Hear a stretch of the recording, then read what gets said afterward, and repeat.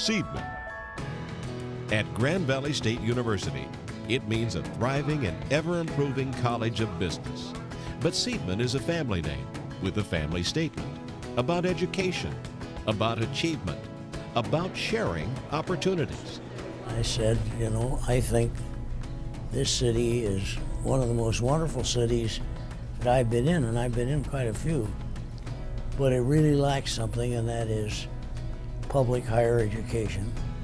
And I think we all ought to get together and see if we can bring it to Grand Rapids. Look what Bill Seidman, his colleagues, and this community have brought to West Michigan. An effort that began in the late 50s resulted in a college chartered in 1960 and produced the state's sixth largest university that pumped some $680 million into the regional economy. A vibrant private public partnership propels Grand Valley into answering ever changing needs. It didn't take Bill Seidman very long. Seidman was always anticipating what the business community in West Michigan needed. We all know what a role he played in the development of this institution uh, right from the very start. And he apparently said to Dr. Zumberg, this is the beginning of the second year. We've got to do something, and we ought to be looking at something in business. You bet it was something in business. In 1965 came the first business courses. In 1968 came the Economics and Business Department. 1970 brought the School of Business and Economics. And 1973 began in earnest a strong relationship with the Seidman family that continues at the core of business education and leadership at Grand Valley. The Seidman Family Foundation provided a generous gift in 1973 that formed the Seidman Graduate College of Business, and now we celebrate the L. William Seidman Center.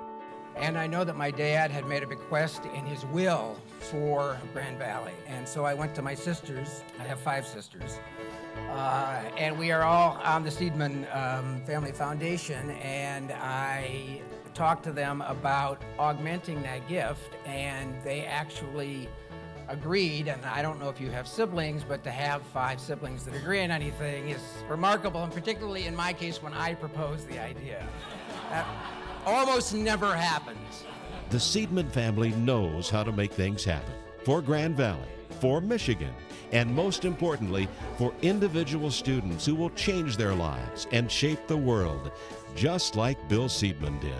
He had a lot of passions in his life. Three of the biggest were, as you know, Grand Valley, business, and education. He was committed to all three of those areas.